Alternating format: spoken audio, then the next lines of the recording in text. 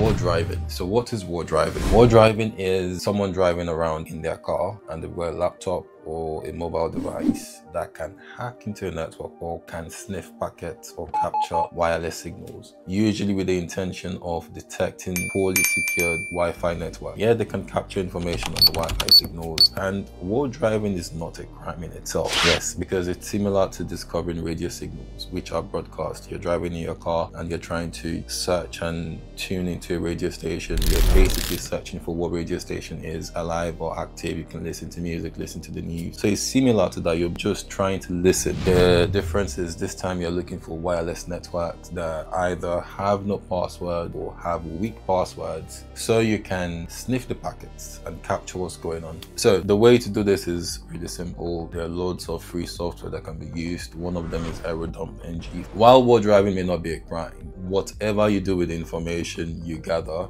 may constitute a crime, may be illegal. Or if you access the network without permission, that may then be considered illegal. So if you try to connect to the network and try to use the resources or try to steal data from the users on the network, that may then be illegal because you're broken into a network that you do not have authorization for. That may then constitute a computer crime and you'd be in breach of the Computer Misuse Act 1990.